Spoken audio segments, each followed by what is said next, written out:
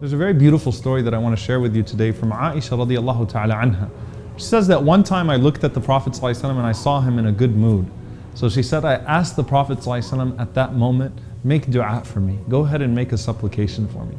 So the Prophet ﷺ said, اللهم اغفر لعائشة ما تقدم من ذنبها وما تأخر وما أعلنت وما أسرت or وما أسرت وما أعلنت in a different narration.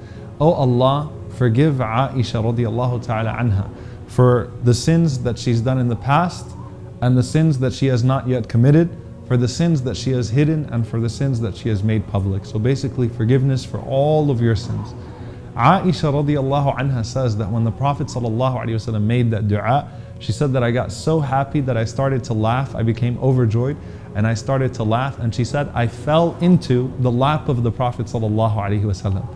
So she says that the Prophet ﷺ looked down at me in his lap, and the Prophet ﷺ said, did, your, did my dua make you happy, O Aisha? Aisha radiallahu anha said, Of course it made me happy. What an amazing dua. So, you know what the Prophet ﷺ said?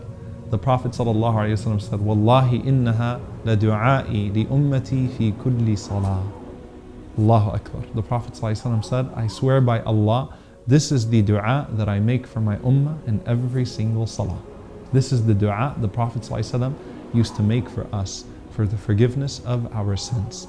And that's what made Aisha radiallahu anha happy. Allahumma اغفر li Aisha ما تقدم من ذنبها وما تأخر ما أعلنت وما أسرت. Oh Allah, forgive Aisha. And the Prophet ﷺ would say, Oh Allah, forgive my ummah that for their sins, that which they've done in the past and in the future, what they've hidden and what they've made public.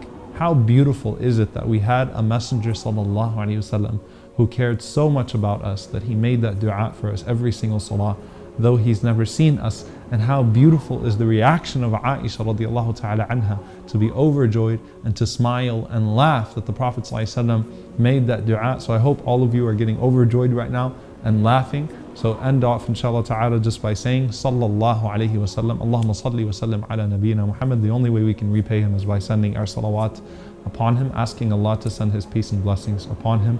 Wa sallam ala Sayyidina Muhammad. Jazakum Allah khairan. Wassalamu alaikum wa rahmatullahi wa barakatuh.